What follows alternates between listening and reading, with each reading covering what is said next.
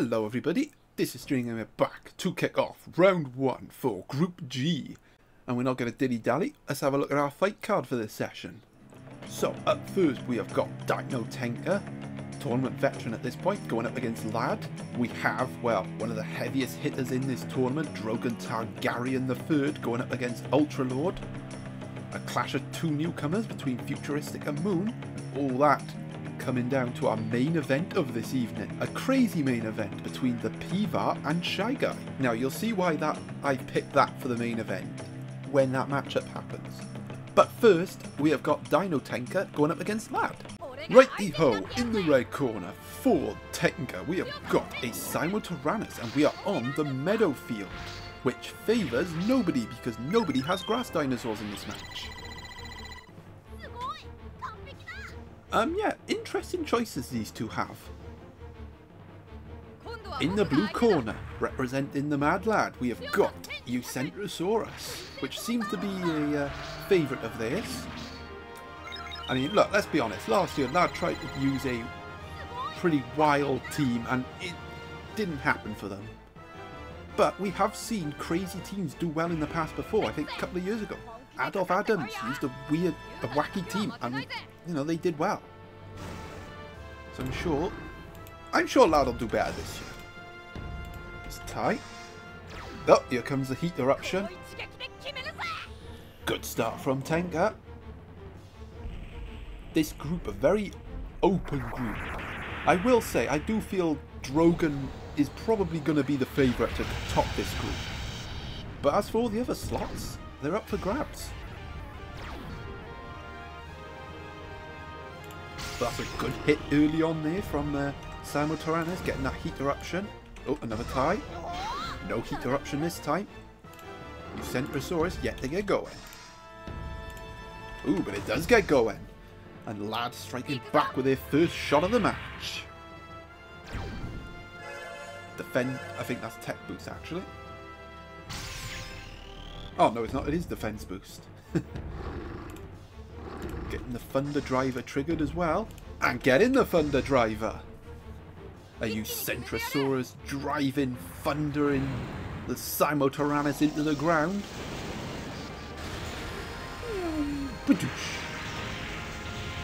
And I think that will be all she wrote for Siamotyrannus, and it is. Well, it was a slow start from that, but they are in the lead. Right, coming in next for Dino Tenka, we have got Megalosaurus. This Megalosaurus, one of the hardest hidden secret dinosaurs. You don't want to get hit by that gigantic fall. Otherwise, your dinosaur's HP will take a gigantic fall.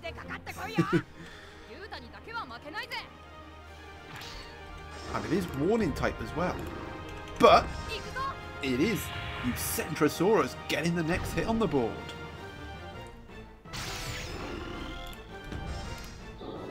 Okay, nope, there it is. TIE bomb coming in as well. There goes Eucentrosaurus, I'm pretty sure. Oh no! It does survive. The defense boost. The resilience of Eucentrosaurus playing key there. Okay, but that tie will certainly end Eucentrosaurus. Right, coming in next for Lad's second dino, we have got Polacanthus. Another very wild choice here, polar Polacanthus. You don't see it that often. Well, you Eucentrosaurus, I think, did had a pretty good show in there. And it has given Lad a lead.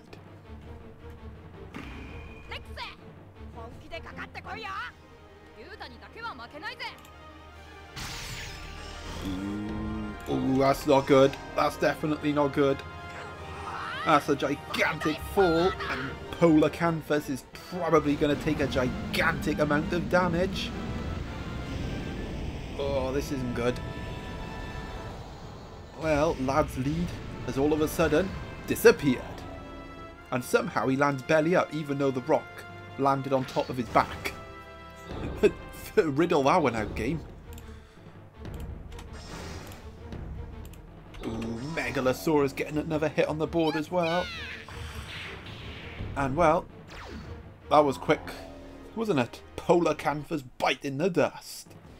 And all of a sudden now, Tenka is, is in the driving seat. Right, coming in for Lad's third dino, we got Carcharodontosaurus. It's got the fire cannon. It's got the lethal crit there. It is lethal type.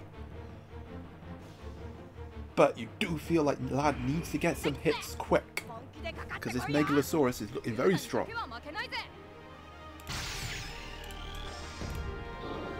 Okay, that's a tie. Really doesn't want to tie. And doesn't want to get hit by that. Dino Tank, they're looking unstoppable at the minute. Can Megalosaurus secure the bonus point win? Well, it won't with this hit, but it'll leave Carcharodontosaurus in a perilous position. Oh, wow. And it... Well, it was going well for Lad early on, but Tenka has really turned the screw here. Okay, there's a hit. A much needed hit. Elemental power coming in there. Don't know if it's going to help at this point. Ooh, well, it won't be a bonus point win for Tenka. The Carcharodontosaurus not going down without a fight. Getting off the burning dash. Lad striking back.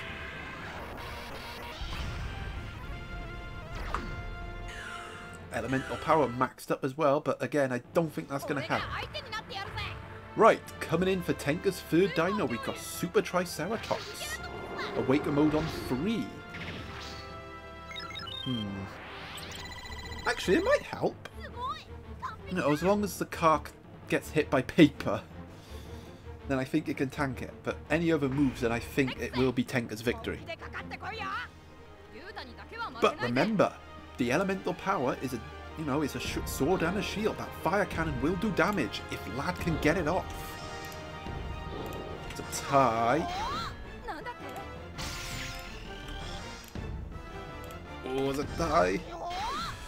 One more do it. And that'll do it. You know, car put up a little bit of a fight back, but that Megalosaurus really did damage to Lad's team, and it is Dino Tenka's victory. Three points on the board for Tenka. Right, on to our next matchup. Right then, in the red corner, representing Drogon Targaryen III, we've got Gigas. Uh, no armour this time, just the regular Gigas. Drogon will what, definitely up there among what, among the favourites to win this whole tournament. But they'll need a good start here because in the blue corner for Ultra Lord, we have got an Alpha Uranus, no, Alpha Iguanodon with terrain advantage. That could be key for Ultra Lord here. Okay, so we'll get off a paper head. Well, we'll see. You know, last year Drogon, probably a disappointing tournament, even though they got the last 32. A disappointing loss against Dino Hunter last year cost them. Uh, right, terrain advantage first. Get that over with. So I'm sure they'll be looking to bounce back with a strong tournament this year. And they do get the next hit on the board. And a flare sword as well. Good response from Drogon that.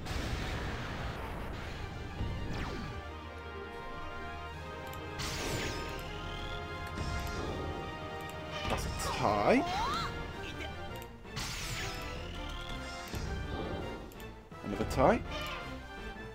Oops, tapped the wrong thing.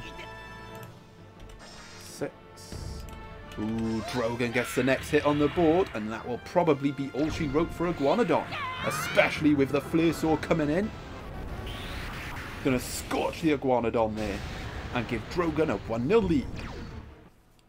Now, this could be interesting because coming in next for Ultra Lord, we have got the Majungasaurus. Super Majungasaurus, that is. Awaken mode on 3.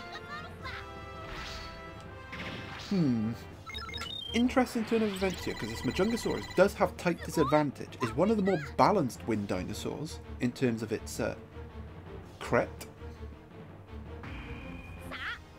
You feel like Drogon, a good opportunity here to build a lead. Well, a bigger one. And he's certainly taking advantage of it here. Another, another flare sword, crikey!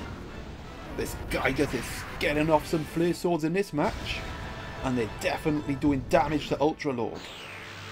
That's once. Might not even get to the Awaken mode at this rate. Well, that's a crit, a move block, which is really interesting, but that might actually help Ultra Lord here. Oh, that won't. The poison, the move block. Oh, and another freaking flare sword. and it's 2-0 to Drogon.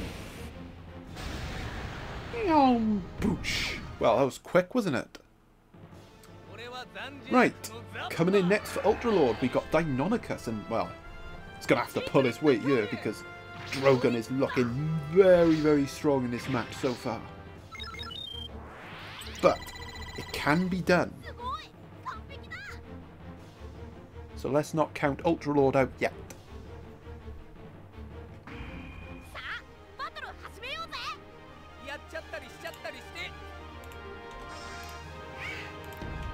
There's a crit. Much needed crit there. Ooh, that's a tie. But Drogon won't mind that too much. Chip away at that Deinonychus' health. And he'll definitely take that. Another hit on the board. No flare sword this time. Oh, I think his flare swords have run out. And Gigas' HP has run out. Because that'll be all she wrote for it. A rec light recovery as well. Okay, not too bad for Ultra Lord there. Didn't take too much damage. Right, here's an interesting choice for Drogon coming in next.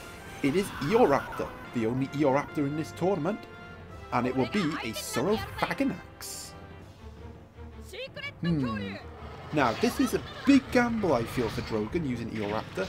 I mean, Eoraptor always is a big gamble because it is such a, it's such a glass cannon but it doesn't have much punch to it.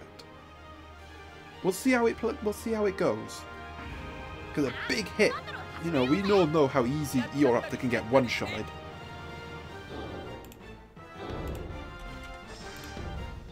That's a tie. Doesn't have uh, heat eruption, unfortunately, so ties won't do much good here. Nor will that. That's a hit from the Deinonychus Ultra Lord. Yeah, look at that. Not even a crit and it does all that. Ultra Lord coming back into this contest. Ooh, until that happened. Light recovery to come. Drogon getting a big hit when he needed it. It's a burning dash.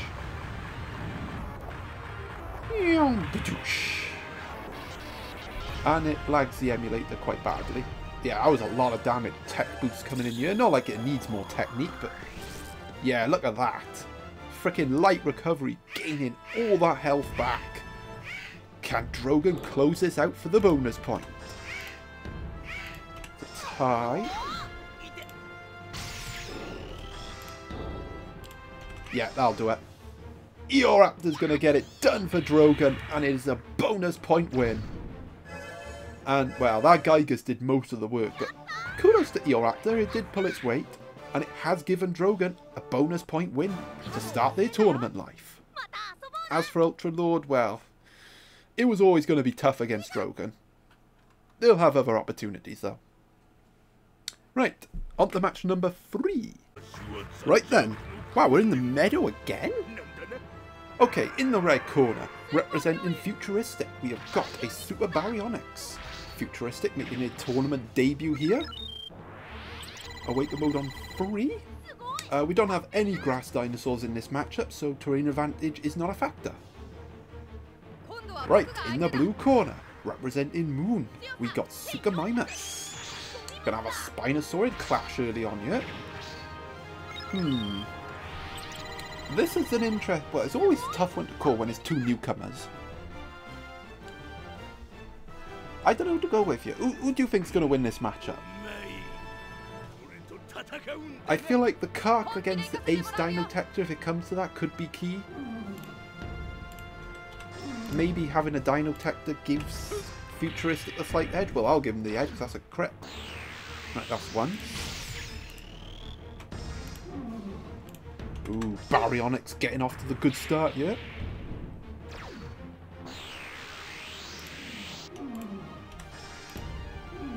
Very good start, look at this! It's a Futaba cannon and quick as a wink, Suchomimus is dispatched.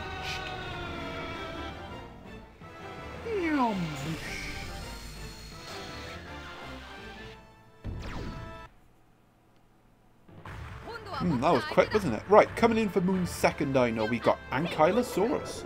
Moon hasn't, well, has not fired a shot in this match at all, and they're gonna need to fire one quick. Because the Baryonyx, it still has the Awaken mode to use as well. So a good opportunity here for a 2-0 lead for Futuristic.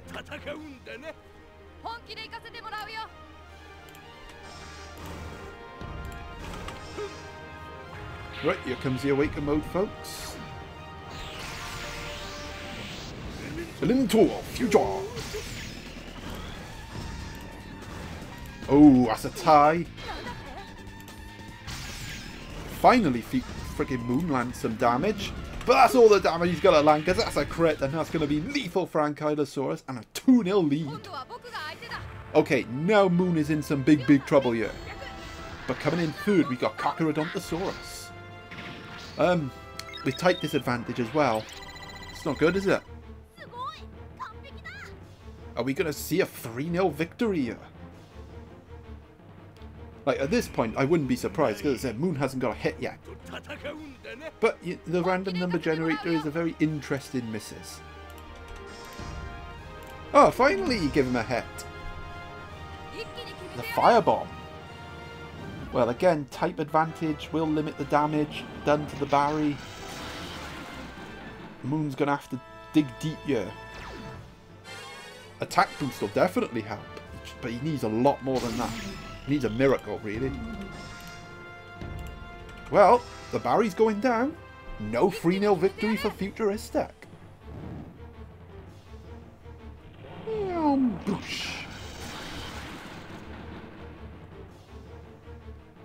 But it is nice to see to see Moon finally putting up a fight.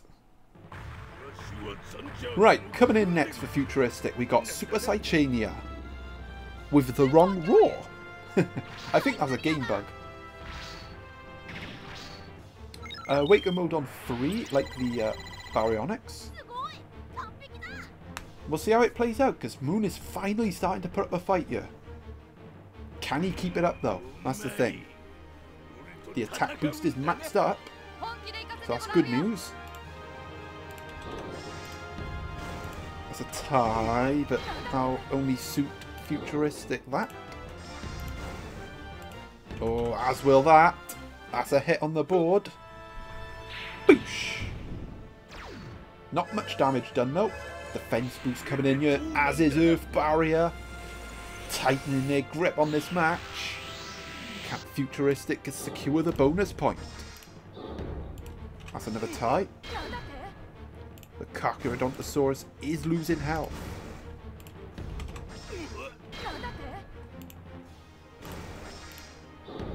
Another tie. And yeah, there it is.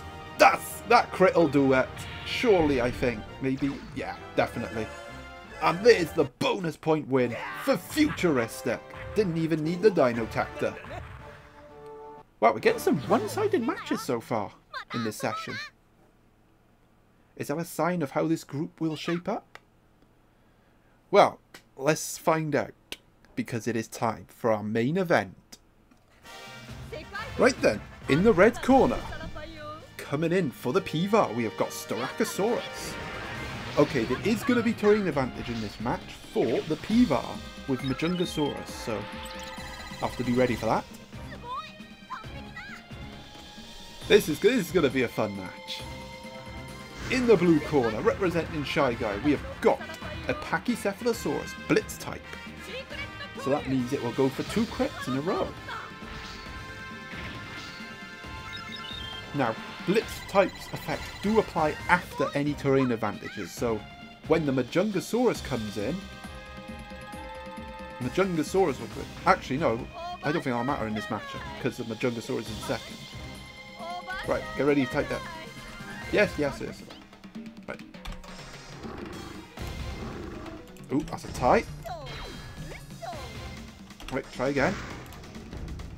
And that's another tie. Interesting. Ooh, Styracosaurus getting the first hit on the board. That's a big hit as well. It's a Thunder Bazooka.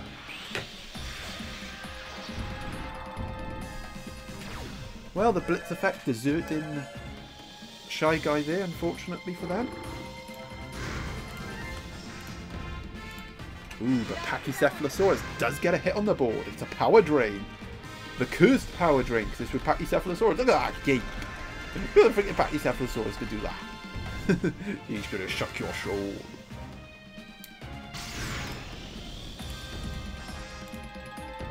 Oh, we got some secret moves going on. It's a laser ray. Big damage coming Styraco's way. And, oh, it didn't go down. Defense boost really being crucial there. And Styracosaurus gets a hit on the ball and a recovery. And the Pachycephalosaurus goes down.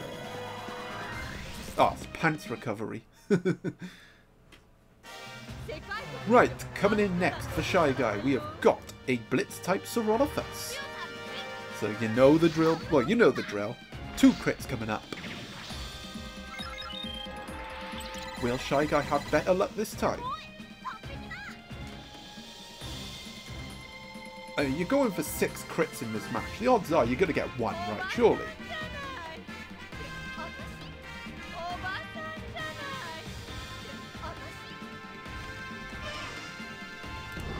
Survey says yes, he does get the crit this time.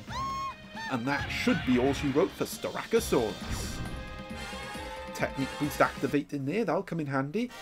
This Saurolophus does have green impulse. Now, with this Majungasaurus coming in, with terrain advantage, the Majungasaurus will get the next hit. And then, the Saurolophus will go for a crit. So just to clarify, Majungasaurus is going to get the next hit, which is going to be a Biting Wind, and then Saurolophus is going to go for its second crit.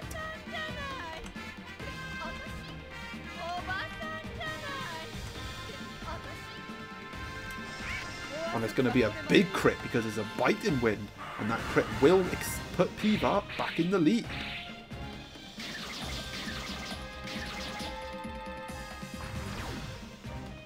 Right, now Saurolophus will go for its second crit. Ooh, didn't get it that time though. But did get the tie.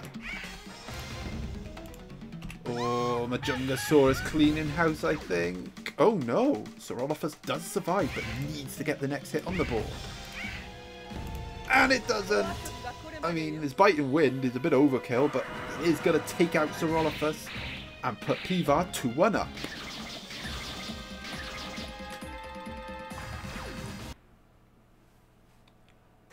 Right, coming in for Shy Guy's food and final diner, we got the Blitz type Edmont Edmontonia. Which will also be going for scissors. But given the Majungasaurus is crit rock, that might not be the best idea.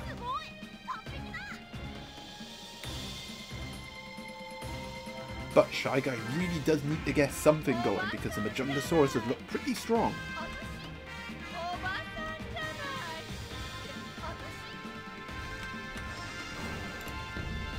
And there is that crit. Good response there from Shy Guy. Crit number two, maybe? And it is crit number two. Two crits in a row from the Edmontonia. And that has put Shy Guy right back in this contest. And the Giga Rock Hammer is going to ensure the Gigantosaurus goes down. Wow, now that was a blitz. A crit blitz from Shy Guy has got him back in the contest and we are both of our combatants down to our fin final dinos. With Pivar's being Satiasaurus, willpower type. Um, similar move set to Ultimate Dino Kings, but with some differences. They got Tragic Sphere instead of Futaba Cannon. I think they got Softening Beam as well. Very similar there. Right, so no more Blitz types, no more terrain advantages. Let's see how this main event will end. Ooh, Shy Guy getting another hit on the board. And what's this? Is it going to be Earth Barrier? No, it's Gigarock Hammer again.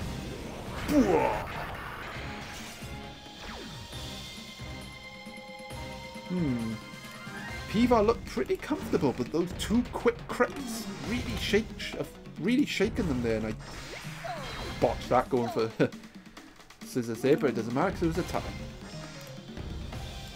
Ooh, Pivar does get the next hit. The tile help increase the damage. Not by much though.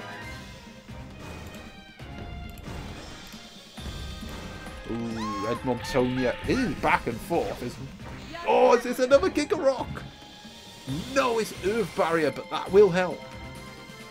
You know, they probably would have loved Giga Rock there, but Earth Barrier will do. Because that will mean that Pivar's going to need probably four hits to win now. Where a Shy Guy only needs one. And there it is. There's the tie. That'll do it for St. Eusaurus. And it is Shy Guy's victory. Now, the Pivar did will get a losing bonus point because Edmontonia's HP was below half. So they, they're not walking away empty-handed, but... Well, you kind of saw the pros and the cons of Blitz types in that match.